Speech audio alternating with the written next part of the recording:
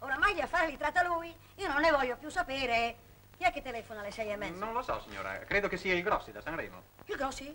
Ma allora si tratta dell'Ambrugino. Vengo, vengo subito. Un momento, un momento. Ma che signora. momento d'Egitto? Oh. Senti, Ui, Pina, io devo fare una scappata in ufficio.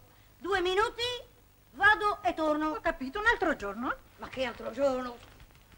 Te vai al cinematografo e aspettami là. Va bene, va bene, ti aspetto qua. Santa pazienza, fammi un piacere, Giorgio. Dicelo te, che la vadi al cinematografo e che la mia aspetti che in due minuti la raggiungo. Hai capito? bene, Ti pago domani. Oh, signora Cos'è- Felicità. Cos'è che è successo? Lasciate andare il bacio a mano. L'Ambrugino sta male? No, sta benissimo. Ah, sì, ringraziate il cielo. No, ma c'è qualche spari. cosa di grave, molto più grave. Leggete, questa è una lettera del Grossi, è arrivata due ore fa. È tutto qui? Ma come tutto qui? E vi par poco? Avete letto bene? Il vostro signor nipote passa l'intera giornata al tavolo da gioco. Eh beh, ma se anche perde qualche liretta cascherà mica il mondo. Ma eh, il Conte Scotti può mica farci la figura di cioccolataio. Natural, è il rango.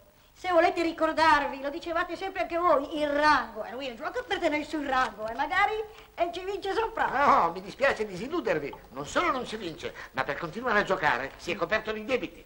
Beh, vuol dire che i proverbi sono saggi. Sfortunato al gioco, fortunato in amore. Ah, amore! Oh, parliamone di quest'amore. Bella roba. Donnette equivoche, cocottine e avventuriere. Ma sì, alla sua età bisogna perché si diverta, povero ragazzo. Dico anche voi però, se volete ricordarvi, ai vostri tempi... Un momento.